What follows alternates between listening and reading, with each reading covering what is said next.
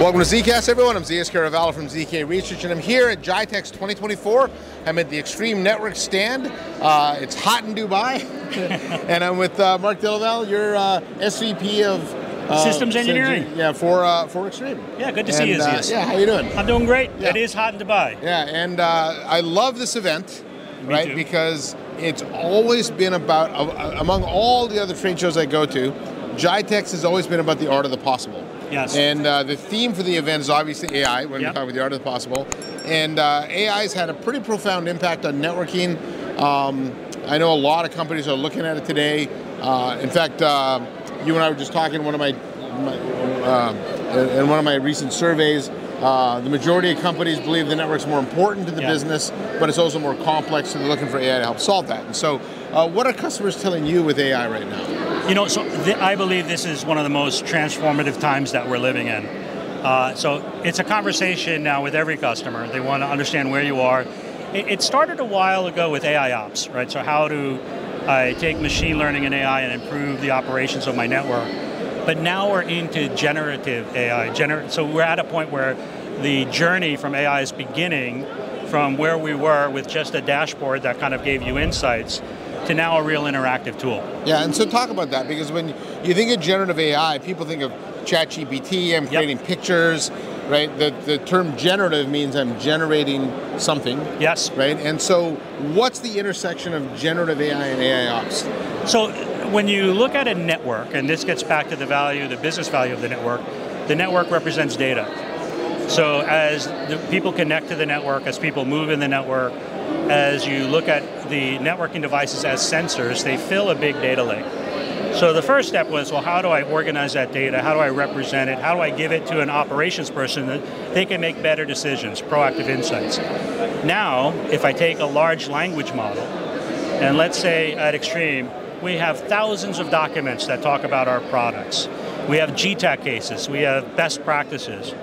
And we put that all into a large language model, which becomes generative. I now have the ability to interact. So, phase one is how do I interact with the data? Yeah. Uh, and, and how do I understand about Extreme? I may want to know about a switch. I may Just, want to just ask a question. ask a question. Why is this not performing well? Things Or like how do I configure this Oh, switch yeah, to yeah. do this particular thing and I'll get an answer? Because it will go search and build the answer. And now I can have a conversation that builds on itself. I thought the response was have a really expensive network engineer. Well, you know, that from a systems engineering perspective, Yeah. we will always be there for Yeah. you. So but I think the more important thing is like I may be interacting with the tool and English may not be my natural or first language. Got it, right. So I may say, can you show me that in my language? I, I could be a German speaking uh, individual. That's, that's my first language. English is my second language. And I can have the document translated in real time into German. But again, it's iterative, so I can have a conversation and keep adding to that conversation.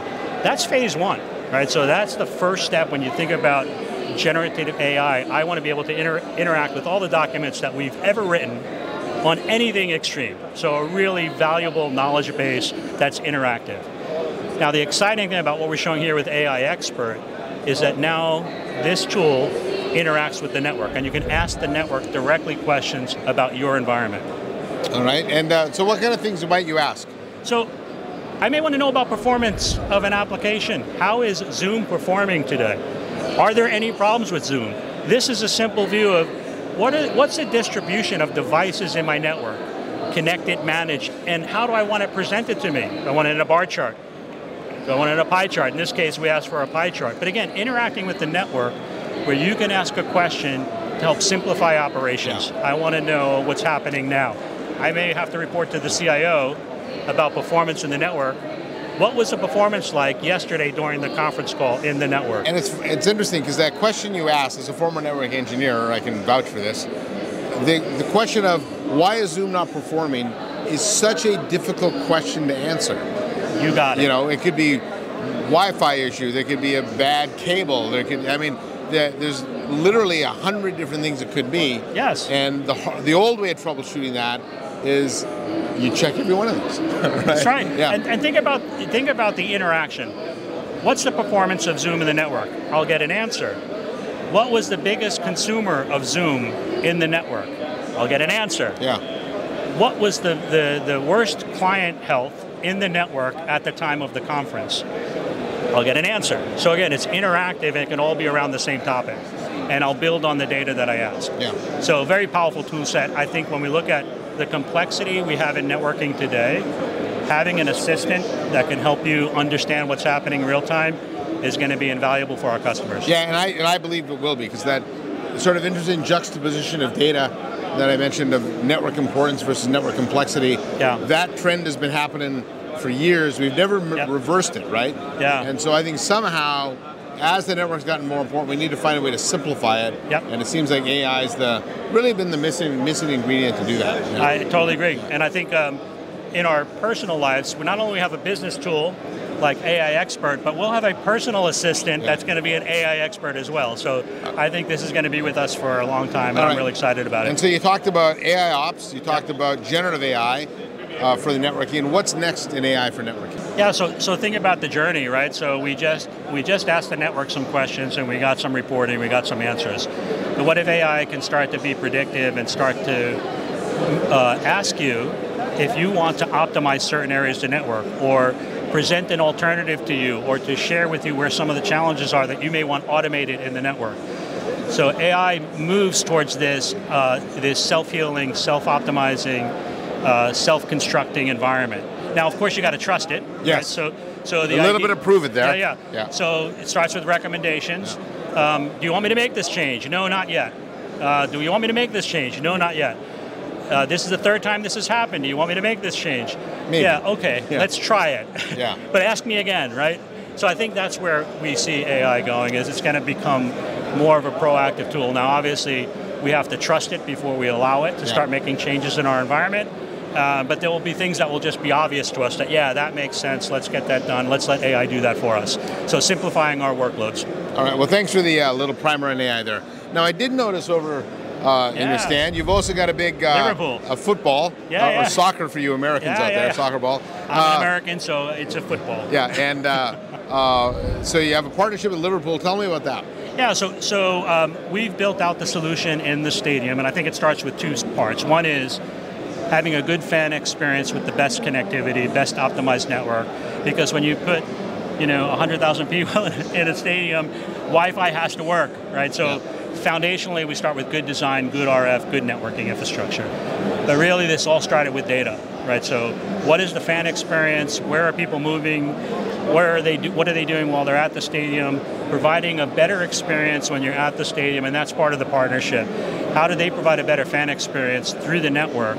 And how do they use that data for business analytics? Yeah. Now, uh, Liverpool Football Club, or LFC as they're known, plays at Anfield Stadium. Yeah. Uh, I know you're also in uh, Old Trafford, where Manchester plays. Yeah. You're in uh, Olympic Stadium. Yeah. You're in uh, LA Memorial, Lambeau Field, Fenway Park, Wrigley. So It's a all- market we do very well. all in, the yeah. old iconic stadiums Yeah, yeah. were never designed for Wi-Fi. Yep. Is it just a coincidence you think you're in those, or is there some reason that these kind of iconic stadiums use Extreme? So let me let me just say that we started with sports and entertainment with data first. It was analytics Yeah. that that started the the journey.